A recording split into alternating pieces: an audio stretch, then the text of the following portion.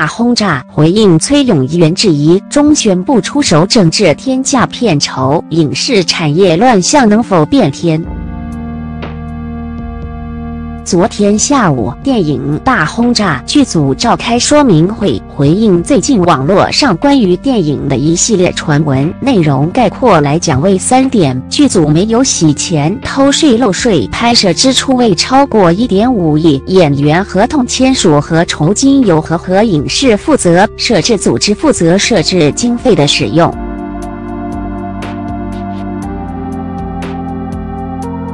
整场说明会十四分钟，速战速决，有意避免滋生更多的舆论风波。故事发展到这里，仿佛终于要迎来结局。小崔凭借一抽屉合同，先是让范冰冰、冯小刚等人成为众矢之的，然后引起了影视股集体地震，大轰炸成业界的公案。最终，官方重拳出击。昨晚六月二十七日，五大部门联合印发通知，共同治理影视行业天价片酬、阴阳合同、偷逃税等问题。这是不是事件的最终结局不得而知，但社交媒体上已然一片叫好之声。小崔胜利了。仿佛英雄与群众齐心协力完成了一场起义，揭竿而起的原因与实际结果并不重要，重要是群众意识到手里的话语权真的可以化成高速移动的子弹，自下而上引起舆情震动，击穿高位者的靶心。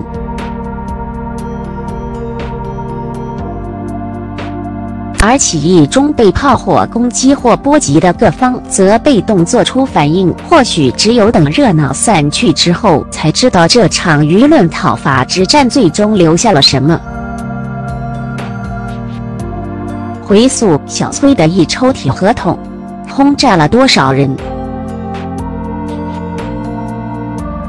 对于天价片酬、阴阳合同闹出的风波，或许我们可以用一个比较流量的角度来回溯历史，理清现实。目前，崔永元微博超话粉丝达到五点六万，阅读四点九亿，是微博综艺榜上的第一名。这份数据在微博上是什么程度？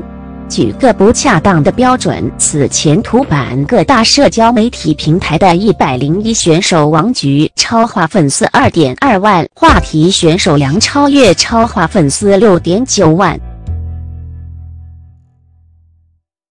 打开崔永元的超话，一部分是网友对他的应援之声，甚至有网友以章回体小说的形式总结出了崔永元爆料的始末；一部分是网友追加的举报打假相关内容。超话帖子在持续更新，活跃度不低。而话题的发酵是从今年五月，崔永元发布微博挂出信息截图，实名指责冯小刚与刘震云。本来还是一出围绕电影《手机二》的舆论口水战，崔永元与《手机一》、冯小刚等的往日瓜葛又被翻晒了出来。但随着崔永元公开了范冰冰的一份一千万薪酬的劳务合同，话题的性质就开始发生变化了。明星八卦至多是道德审判、茶余饭后唠嗑闲聊，但行业内部秘而不宣的游戏规则一旦露出痕迹，就是千亿发动全身。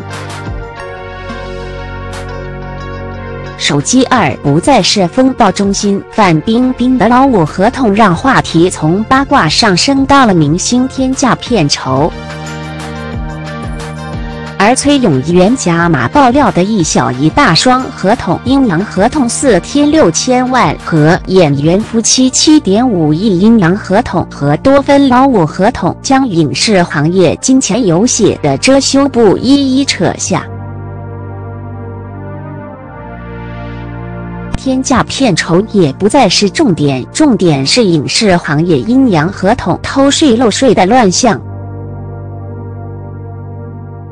这并不是今年影视市场上的第一波风暴，前有后来的我们退票事件、《英雄本色》两千零一十八宣发疑云，但却是压垮市场的最后一根稻草。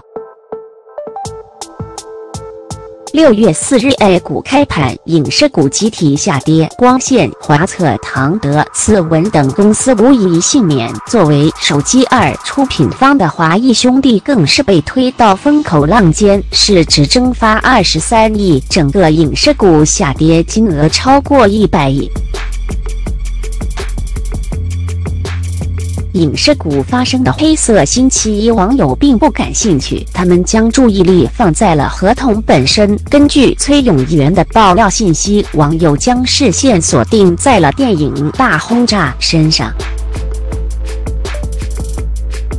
这部电影定档八月十七日，由刘烨、布鲁斯。威利斯、陈伟霆、范伟等一众中外明星出演，讲述一段以重庆大轰炸为背景的历史故事。上海和合影视投资公司坏陆续公司的主要企业是这部电影的主要投资方之一。范冰冰作为客串也参演了该部电影。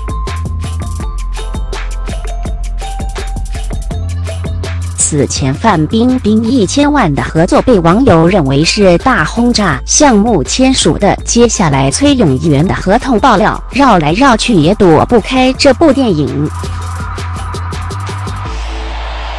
网友根据爆料顺藤摸瓜，舆论风声虽大，但是大轰炸方面一直未做出具体回应。直到六月二十三日，崔永元再次爆出合同，指出大轰炸李范冰冰相关欠款达到八千万，电影拍摄花了十亿不止。合同甲方为何合影视？舆论风波再起，大轰炸洗黑钱、偷税漏税等传言甚嚣尘上。这使得大轰炸方面不得不做出回应。该电影执行制片人王丁声明：网络传言大轰炸剧组黑心洗钱，我们也不知道这些传言有何依据。我们是影片的摄制者，钱在哪，怎么用的，我们非常清楚。虽然投资方一再宣称不缺资金，但资金的拨付完全不是按照电影设置的规律。摄制组面临的资金短缺是整个摄制过程的常态。在基本的拍摄都经常处于艰难维系的情况下，剧组黑心洗钱的说法自然很难成立。在电影拍摄完成后，摄制组的拍摄支出总额也绝对没有超出当初一点五亿的预算。而这场爆料与澄清还没正式完结，官方的重拳已经抵达，无部门共治影视行业乱象，结局是什么？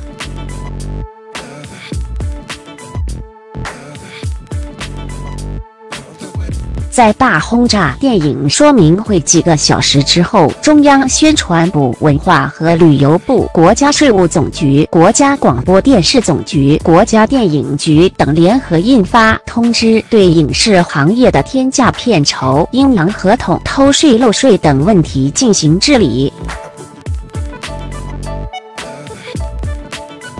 通知强调，每部电影、电视剧、网络视听节目全部演员、嘉宾的总片酬不得超过制作总成本的百分之四十，主要演员片酬不得超过总片酬的百分之七十。对电视台、影视制作机构、电影院线、互联网视听网站、民营影视发行放映公司等平台也提出要求，不得恶性竞争、哄抬价格购买播出影视节目。官方出手让站在揭露影视行业乱象第一线的网友们觉得取得了阶段性胜利。崔永元也发布微博表示拥护组织决定，但是自己的敌人还有盯着。显然，官方下达通知对崔永元而言并不是结局。官方政策下达指出了正确的方向，但到现实中具体而微的地方，需要实践才能知道结果。阴阳合同的出现让公众见识到了影视行业的金钱游戏，但是在娱乐圈，这仿佛是一个顽疾。崔永元对媒体表示过，以阴阳合同逃税在娱乐圈非常普遍，尤其是投资大的，基本上都会有；投资上亿的，基本上都会有。另一个行业顽疾是天价片酬。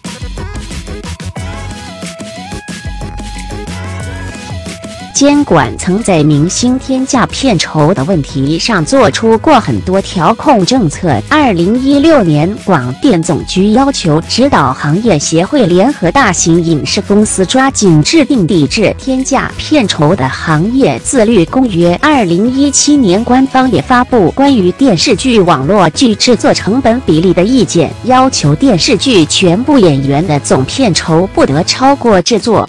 总成本的百分之四十，主要演员不超过总片酬的百分之七十，其他演员不低于总片酬百分之三十。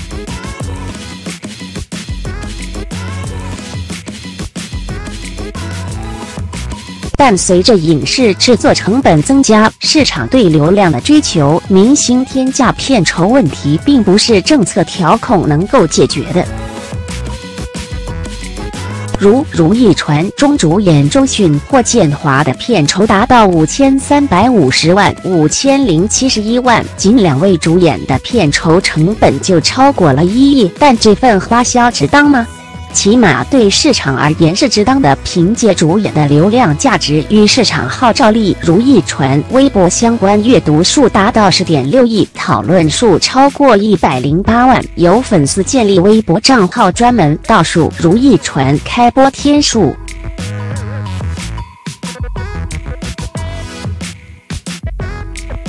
而这部剧的版权价格，网络版权单集售价九百万，电视台版权单集六百万。按其八十八集的剧集数计算，整部剧的版权收入超过十三亿。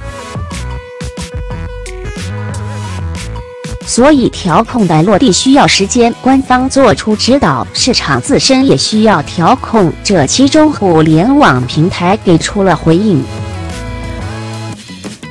今年四月，优酷、腾讯视频、爱奇艺三大视频网站联合对外发布了关于规范影视秩序及净化行业风气的倡议。三家枪口一致对外集体遏制影视行业中明星天价片酬、劣迹演员、明星效应过分夸大等乱象。这份倡议书无疑表明了优爱腾三家对广电政策旗帜鲜明的支持。曝光阴阳合同，遏制明星天价片酬，打破娱乐行业的金钱游戏，这或许是影视行业进程中必然发生也终将被解决的问题。崔永元成了被历史选中的人，拥有了骑士的姿态，而历史的前进是必然的。